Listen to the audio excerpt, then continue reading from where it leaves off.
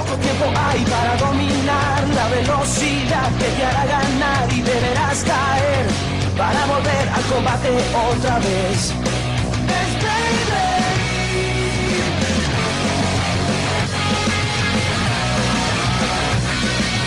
Hazlo girar siempre de ese modo y así let it deberás gritar. Nuestro equipo siempre ganará.